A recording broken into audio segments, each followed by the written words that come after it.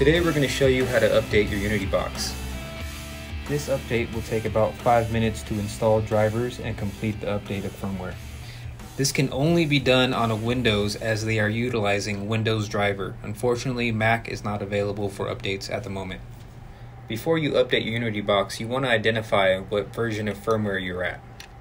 Now this firmware version is only viewable upon boot up of the Unity.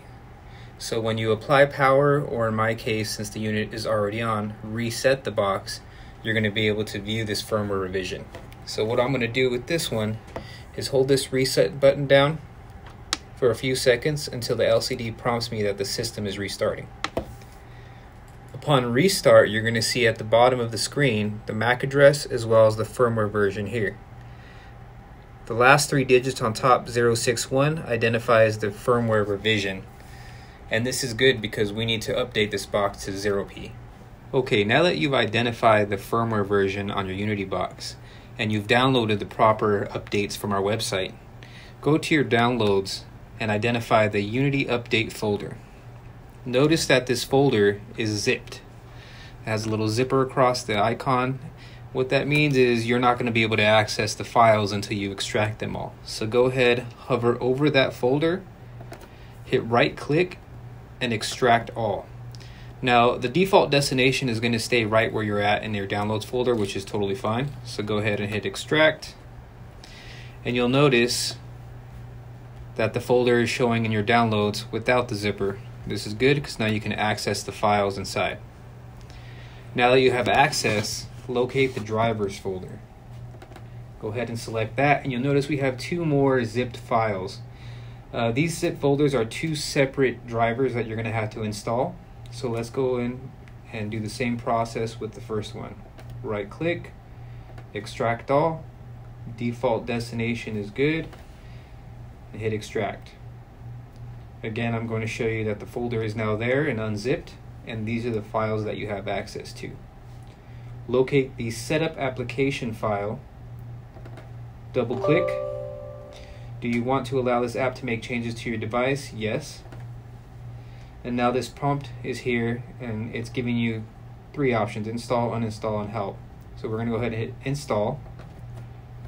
Take a few seconds and it's gonna give you a prompt letting you know that it, it was successful.